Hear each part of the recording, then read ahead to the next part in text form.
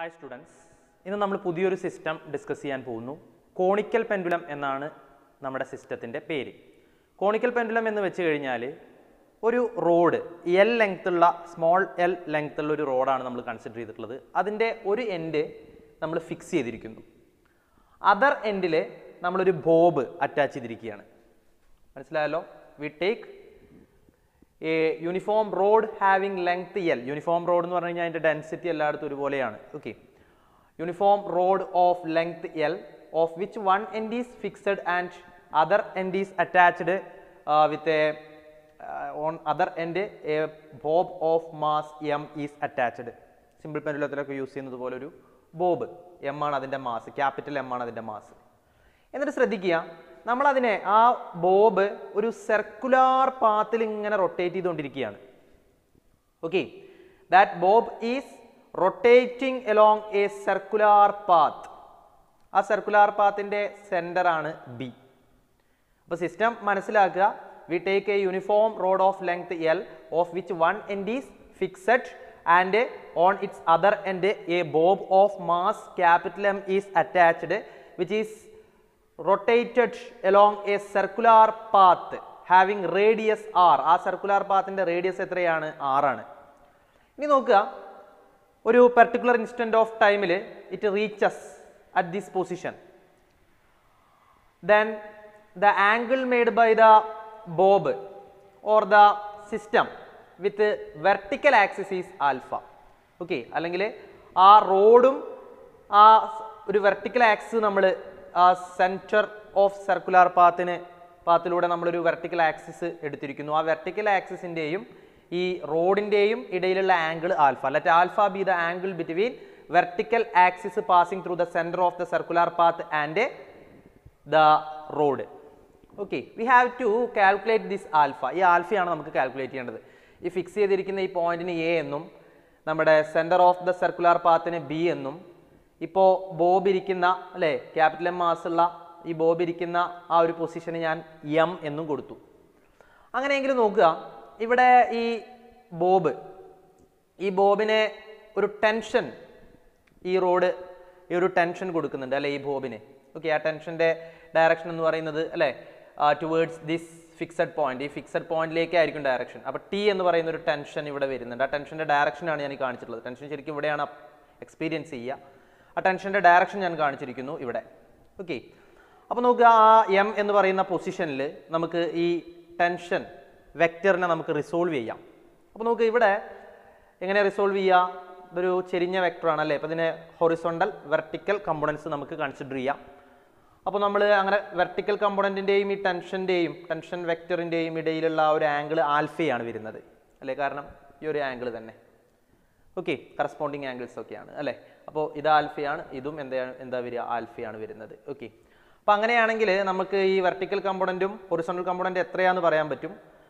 ഹൊറിസ ഈ vertical component വരെ എത്രയാണ്? ഇത് അഡ്ജസൻ സൈഡിന് സൈഡാണ് ശരിക്കും അല്ലേ? അപ്പോൾ എന്ത് വരും? ടി കോസ് ആൽഫ അപ്പോൾ ഇത് ഈ ഒരു വെർട്ടിക്കൽ കമ്പോണന്റ് എന്ന് പറയുന്നത് ടി കോൾസ് കോസ് ആൽഫയാണ് ഹൊറിസോണ്ടൽ കമ്പോണന്റ് എന്ന് പറയുന്നത് എത്ര വരും? ഇവിടെ റൈറ്റ് ആംഗിൾ ട്രയാംഗിൾ കൺസിഡർ ചെയ്ത് കഴിഞ്ഞാൽ അത് ഓപ്പോസിറ്റ് സൈഡാണ് ഓപ്പോസിറ്റ് സൈഡ് എന്ന് പറയുമ്പോൾ ടി ഇന്റു സൈൻ ആംഗിൾ ആണ് വരിക അല്ലേ? വെക്ടർ ഇന്റു സൈൻ ആംഗിൾ അപ്പോൾ ടി സൈൻ ആൽഫ എന്നാണ് വരിക ഈ കമ്പോണന്റ് ഈ കമ്പോണന്റിന് ഇത് ഹൊറിസോണ്ടൽ കമ്പോണന്റ് അപ്പോൾ vertical component T cos alpha എന്നും horizontal component T sine alpha എന്നുമാണ് നമുക്ക് ഇവിടെ കിട്ടുന്നത്. ഇനി നമ്മൾ ഈ ബോബ് നോക്കുക. ബോബിൽ ഒരു ഡൗൺവേർഡ് ഫോഴ്സ് എക്സ്പീരിയൻസ് ചെയ്യുന്നുണ്ട്. ആ ഡൗൺവേർഡ് ഫോഴ്സ് ഏതാണ്? ഗ്രാവിറ്റേഷണൽ ഫോഴ്സ് അല്ലെങ്കിൽ അതിന്റെ വെയിറ്റ് ആണ്. Okay in vertical direction force experienced on bob is gravitational force or weight W okay ആ ഡബ്ല്യുവിനെയാണ് ശരിക്കും നമ്മുടെ ഈ T cos alpha T cos alpha എന്ത് ചെയ്യുന്നത്? ബാലൻസ് ചെയ്യുന്നത്. അല്ലേ? അപ്പം നമുക്ക് വേണമെങ്കിൽ എന്ത് എഴുതാം? T cos alpha is equal to W എന്ന് എഴുതാം. ഓക്കെ ഈ ടി കോസ് ആൽഫ ഇതിനെ ടി കോസ് ആൽഫ മുകളിലേക്കാണ് എക്സ്പീരിയൻസ് ചെയ്യുക. കാരണം ഇതിന്റെ ഡയറക്ഷൻ ടിയുടെ ഡയറക്ഷൻ ഇങ്ങനെ മുകളിലേക്കാണല്ലോ. അപ്പോൾ ടി കോസ് ആൽഫ മുകളിലേക്കാണ് ഡബ്ല്യു താഴത്തേക്കാണ് എന്തായാലും അത് മുകളിലേക്കും താഴത്തേക്കും പോവാതെ ആ ഒരു പർട്ടിക്കുലർ പ്ലെയിനിൽ അല്ലേ പ്ലെയിനിൽ തന്നെ അതിന്റെ മോഷൻ റെസ്ട്രിക്റ്റ് ചെയ്യപ്പെട്ടിരിക്കുന്നു. അല്ലേ? എന്ന് വെച്ച് കഴിഞ്ഞാൽ ഈ താഴത്തേക്കുള്ള ഡബ്ല്യുവിനെ ടെൻഷന്റെ വെർട്ടിക്കൽ കമ്പോണന്റ് ആയിട്ടുള്ള ടി കോസ് ആൽഫ എന്ത് ചെയ്യുകയാണ് ബാലൻസ് ചെയ്യുകയാണ് അതുകൊണ്ടാണ് മുകളിലേക്കും താഴത്തേക്കും പോകാതെ ആ ഒരു പർട്ടിക്കുലർ ആ പ്ലെയിനിൽ തന്നെ ഹൊറിസോണ്ടൽ പ്ലെയിനിൽ തന്നെ അതിന്റെ മോഷൻ റെസ്ട്രിക്ട് ചെയ്യപ്പെട്ടിട്ടുള്ളത്. അപ്പോൾ നമുക്ക് T cos alpha equal to W എന്ന് എടുക്കാം. That is equation number one എന്ന് കൊടുത്തു.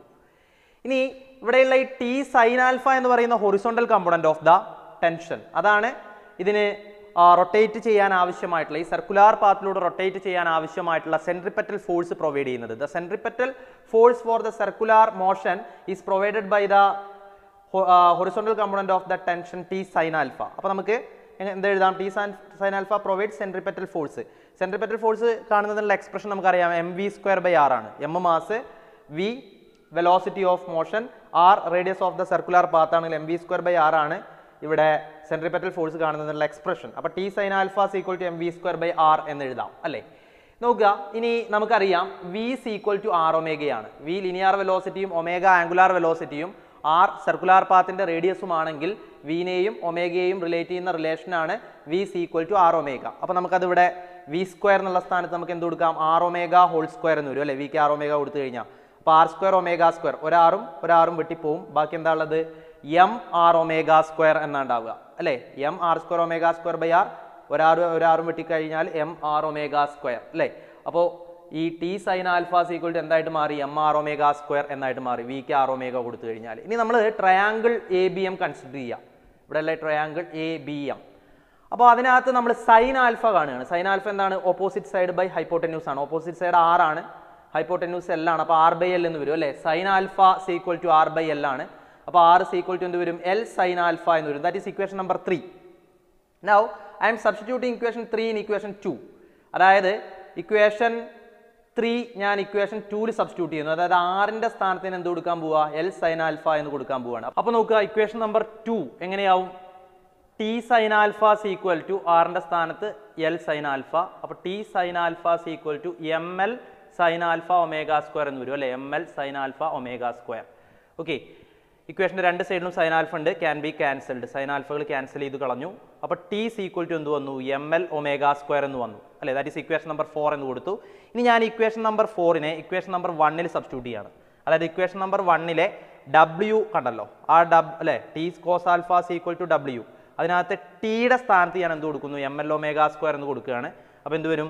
M L omega square cos alpha equal to W എന്ന് കിട്ടും. M L omega square cos alpha equal to W അപ്പോൾ അങ്ങനെയാണെങ്കിൽ ഇവിടെ cos alpha equal to M L omega square right സൈഡിലേക്ക് പോകുമ്പോൾ by ആവും അല്ലേ? അപ്പോൾ cos alpha equal to W by M L omega square എന്ന് വരും. ഡബ്ല്യുവിന്റെ സ്ഥാനത്ത് വെയിറ്റ് ആണ്. Mass into acceleration due to gravity അല്ലേ? അപ്പോൾ ഡബ്ല്യുവിന്റെ സ്ഥാനത്ത് എം ജി കൊടുക്കാം. അപ്പോൾ cos alpha equal to M G by M L omega square എന്ന് വരും. എമ്മും എമ്മും നമുക്ക് ക്യാൻസൽ ചെയ്ത് കളയാം. അപ്പോൾ കോസ് ആൽഫ ഈക്വൽ ടു എത്ര വരും?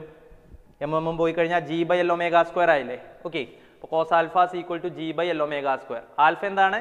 Angle between vertical axis and rod G acceleration due to gravity nine point eight metre per second square L length of the rod omega angular velocity of rotation of the bob attached with the end of the റോഡാണ് അപ്പോൾ alpha ഇവിടെ നിർത്തി cos അങ്ങോട്ട് പോയി കഴിഞ്ഞാൽ cos inverse ആയി. അപ്പോൾ alpha equal to cos inverse G by L omega square that is the expression for finding angle between vertical axis passing through the circular path followed by the bob attached with the end of the rod and rod okay അപ്പോൾ ആൽഫയ്ക്കുള്ള ഒരു expression നമുക്ക് കിട്ടി. ഇനി നോക്കുക രണ്ട് special cases ആണ് നമ്മൾ ഡിസ്കസ് ചെയ്യുന്നത്. അതിൽ ആദ്യത്തെ കേസ് ഇവിടെ ആംഗുലാർ വെലോസിറ്റി ആയിട്ടുള്ള ഈ ഒമേഗ ഇൻഫിനിറ്റി ആണെന്ന് കരുതുക. എന്ന് വെച്ച് കഴിഞ്ഞാൽ ഈ ബോബിനെ നമ്മൾ ഹൈ വെലോസിറ്റിയിൽ ആണ് നമ്മൾ എന്ത് ചെയ്യുന്നത്?